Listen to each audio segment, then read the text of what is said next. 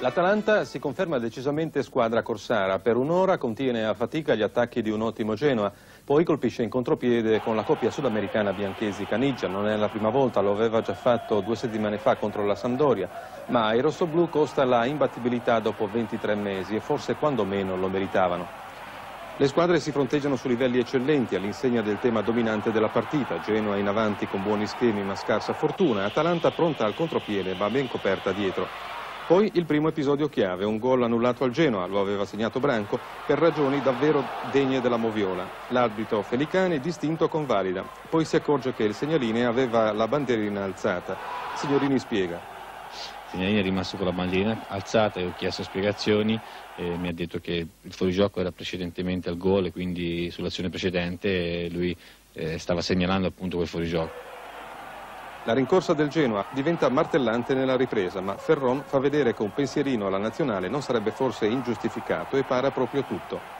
Al quarto d'ora il secondo episodio chiave. Caricola, dopo un fallo su Canigia, viene espulso per doppia ammonizione. La difesa del Genoa non fa tempo a organizzarsi che Bianchezzi, controllato fino allora dallo stesso Caricola, trova l'angolino giusto. L'assalto all'arma bianca del Genoa continua a infrangersi contro Ferron e apre spazi enormi all'Atalanta che spreca lo sprecabile, ma in pieno recupero raddoppia con una facile giocata delle schegge sudamericane Bianchesi e Caniggia. Giorgio, è vero che l'Atalanta chiederà di giocare tutte le partite esterne al Ferrari, spara che vi porti bene, no? Ma credo porti bene giocare un buon calcio, abbiamo giocato due ottime partite e in entrambe le gare abbiamo meritato la vittoria.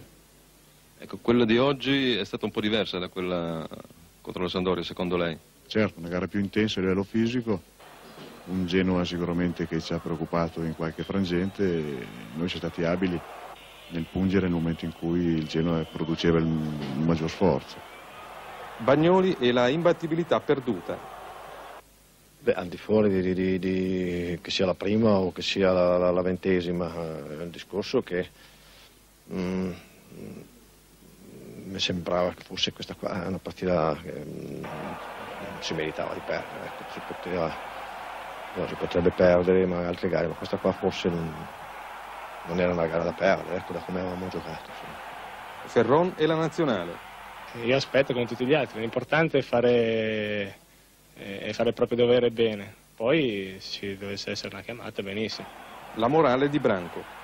Quando si vince tutto è bello, tutti sono bravi, adesso dobbiamo dimostrare di avere un carattere molto forte e andare a Bucarest e fare un risultato bellissimo. E avanti settimana per settimana, eh, sfruttando il nostro buon periodo, che è un periodo atleticamente in spolvero, e vogliamo continuare anche a dare battaglia sulla Coppa Italia tra un paio di giorni.